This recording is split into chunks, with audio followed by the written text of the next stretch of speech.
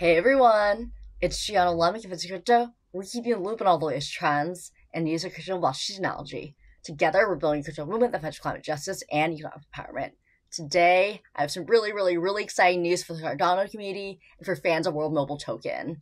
I am back at the Brooklyn location. The past few days, I was in the Poconos for a retreat with some new members of our Convincing Crypto team. You're going to meet them really, really soon. But here's the tweet for today World Mobile Token tweeted Who else spotted the new Air node pop up on WMT Scan in the last week? Well, there are more where that came from.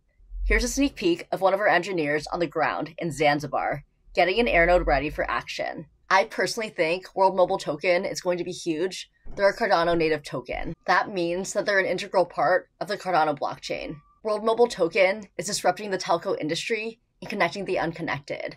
They do that with something called air nodes. So I want to go over how air nodes work. Air nodes are the access layer of the World Mobile Network. They essentially provide last mile connectivity for the voice, text, and data services used by any customers on World Mobile. A big problem with the telco industry is that they only tend to build out their services where it's profitable for them that leaves out a lot of poorer communities, and especially developing nations. So World Mobile has created a system for anyone in the world to bring connectivity to their community. It's as easy as combining a Raspberry Pi an access point, and some wireless equipment. And what I truly love about it is that it's decentralized and it provides opportunities for people in developing countries to be business owners. Airnode operators in those communities get a share of the revenue from their air nodes. I think this is truly economic empowerment. It's going to get people out of poverty and it's also going to help connect the world better. Let me know though what you think in the comments below. I truly think projects like these are changing the world. But that's it for us today. Feel free to like, subscribe, and comment your thoughts. Feel free to share this with your friends if you enjoyed this content, and I'll see you next time, everyone.